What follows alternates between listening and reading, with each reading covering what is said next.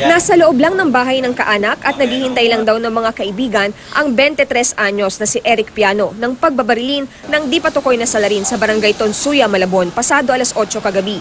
Dead on the spot ang biktima matapos tamaan sa ulo at katawan. Ang ina ng biktima, nalaman lang daw ang sinapit ng anak mula sa mga kapitbahay. Wala raw takip ang muka ng suspect, kaya posibleng may nakakilala sa kanyang residente. Pero, di ko mabibig ni Carlita sa kung sino ang kanyang pinaghihinalaan. Wala naman ako naririnig nga may kalaban siya eh. Ewan ko lang, hindi ko lang mama sasabi. Nandyan sa amin, talagang ano, talikuran ang labanan dyan sa amin. Wala rin daw kaso ang anak at hindi sangkot sa iligal na droga.